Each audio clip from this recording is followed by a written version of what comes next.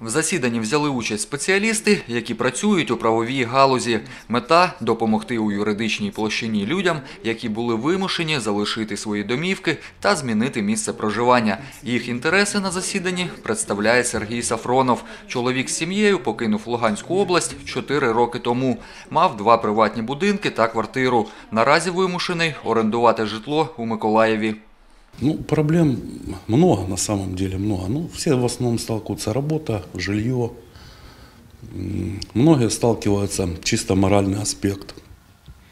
Потому что, ну, вот, например, мне лично не нравится слово переселенец. Потому что у меня точно такой паспорт, я точно такой гражданин. Внутрішньо переміщені особи не мають права голосу, коли, наприклад, обирають міського або сільського голову в населеному пункті, куди вони переселились. Через втрату документів існують проблеми з працевлаштуванням. Нерідко люди змушені звертатись по правову допомогу. Місцева влада, органи місцевого самоврядування також в певній мірі не хочуть сприймати внутрішньопереміщених осіб. Хоча е, я вважаю ну, приблизно, ну, напевно, 80% тих людей, що залишили свої домівки, це люди, які мають ну, як щонайменше одне, одну вищу освіту і е, фактично відносяться до середнього класу країни.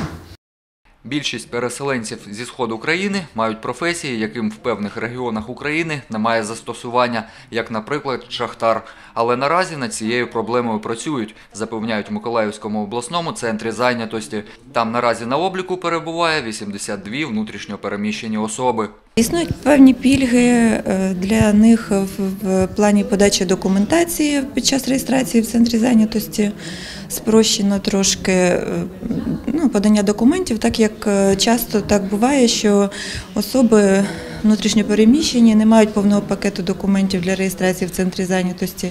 У підсумку учасники наради сформулювали шляхи вирішення нагальних проблем, які Сергій Сафронов, в свою чергу, перекаже ініціативній групі. Олександр Гордієнко, Олександр Пан, телевізійні новини Миколаївщини.